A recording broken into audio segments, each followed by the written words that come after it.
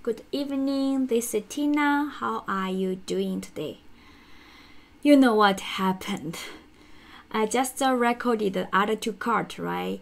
And then I did a revert, discard change on my the source code, and uh, all the changes I made to the other two card is gone and for this part is gone.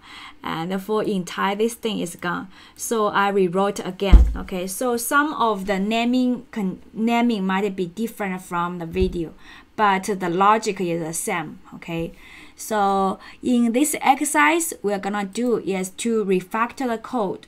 Because here we have uh, this part of the code this part of code and this code is duplicated which we don't want and another thing which I don't like is this part. I really don't like this one, which inside then I have this one, and uh, I don't like. The one we can do is using async await. Okay, so first let's fix this the first issue, which is this duplicate. We can do is do like this one.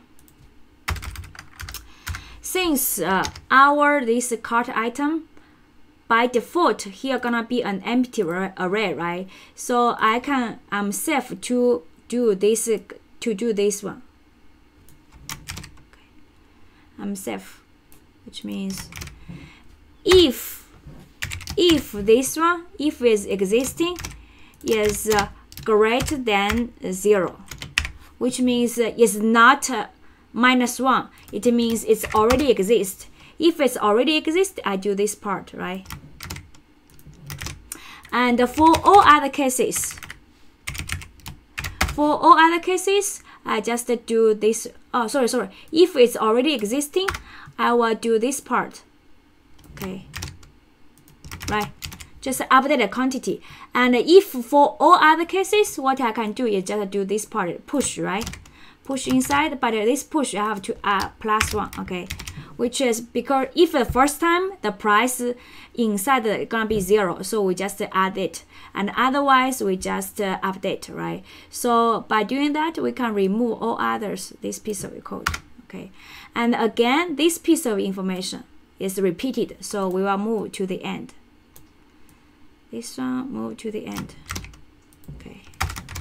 And this one we're gonna delete, okay? And also we can do is also refactor here. We can do is this one.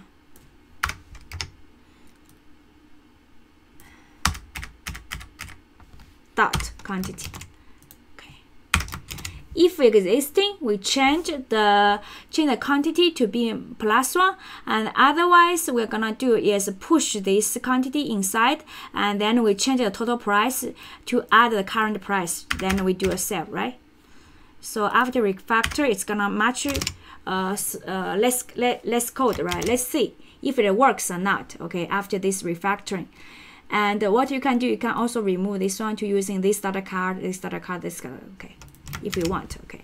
So now let's, let me do is I will remove this product, uh, user. I'm gonna using the first user, okay.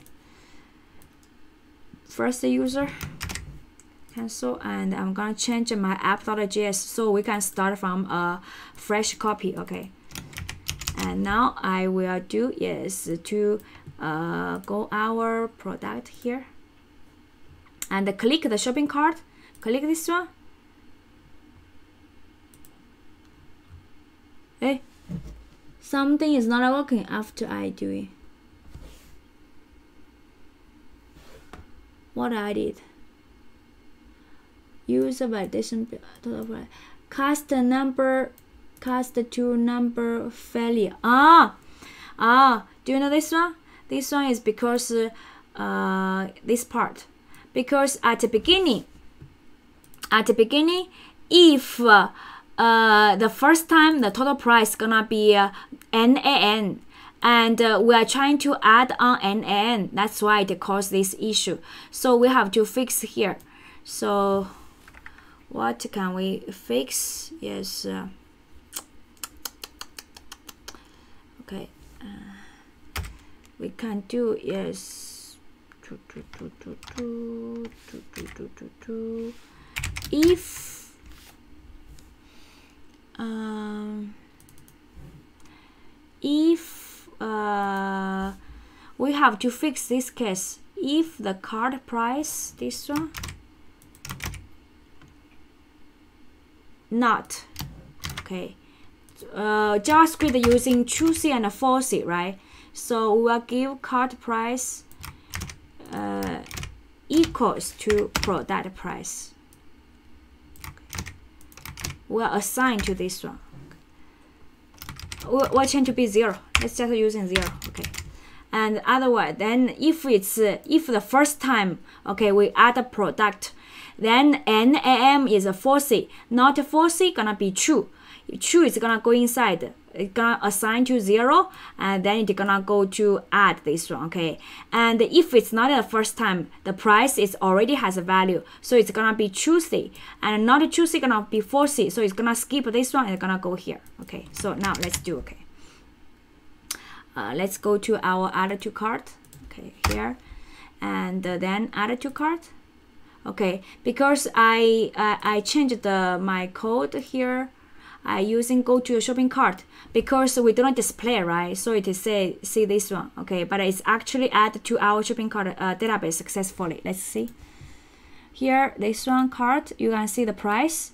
And uh, we see the items right? One item. Now I click the same item again same item click okay and go to the shopping cart database and go go 60 and still one and change the quantity right? And if I add another one add another one and uh, add another one so it should have three uh, products in our shopping cart right? See here uh, you should have uh, three products quantity 2 quantity 1 and quantity 1 if I add one more okay sorry if I add one more if I click Node.js one more you should have two product as quantity is 2 right? So refresh here go inside here see quantity 2 quantity 1 and this one quantity 2 okay? So after that we refactoring this part is successful right? Which is user which is to add to shopping cart successful okay this is the one I want to refactor, and there's another one I want to refactor is here. Uh, I'm not a big fan of this part.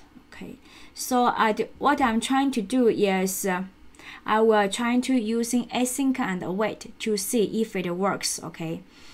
Uh, uh, this is gonna be how about I make another video for about uh, async and await. Otherwise, this video gonna be very long okay so that's it for this video and uh, i'm gonna make another async await to refactor this piece of code the file here and also connect to here. Okay i don't like this part. Okay. Uh, see you in my next video. Bye bye